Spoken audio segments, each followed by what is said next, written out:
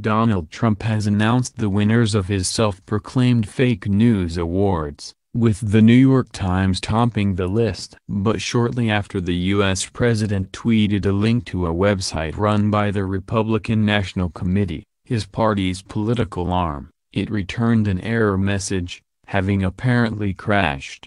When it later returned, it revealed that Mr. Trump has singled out New York Times columnist Paul Krugman for claiming Mr. Trump's presidency would inflict severe damage to the U.S. economy, which has in fact rallied under his leadership. He also attacked Brian Ross, a reported for ABC News, who erroneously reported that Mr. Trump former National Security Advisor Michael Flynn to make contact with Russia during the election.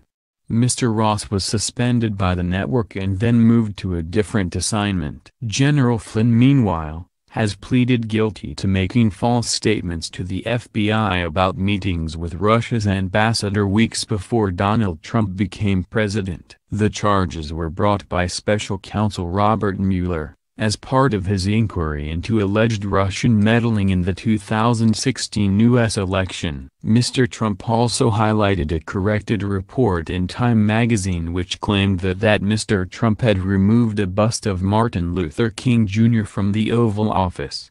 A number of CNN reports were also highlighted. Rounding out the list was a subject that frequently earns Mr. Trump's derisive fake news label investigations into potential collusion between his presidential campaign and Russia, which he dismissed as the greatest hoax perpetrated on the American people. Despite what he called dishonest media coverage, Mr. Trump went on to say that there were many great reporters, before insisting there was lots of good news for the American people.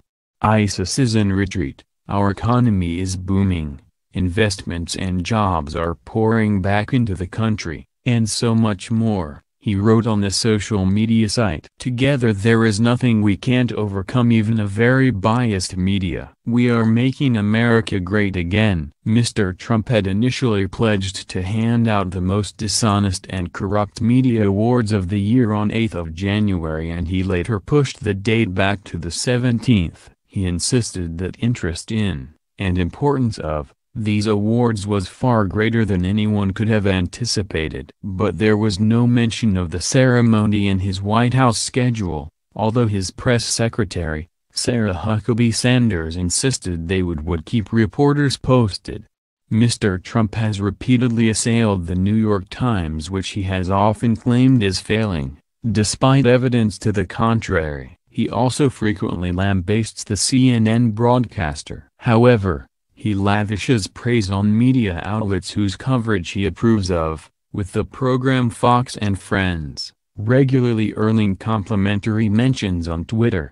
This latest broadside against journalists came on the same day that a pair of Republican senators long critical of Mr. Trump blasted his approach to the press. Jeff Flake of Arizona denounced the president's shameful, repulsive approach to the media from the Senate floor. When a figure in power reflexively calls any press that doesn't suit him fake news, it is that person who should be the figure of suspicion, not the press, he said.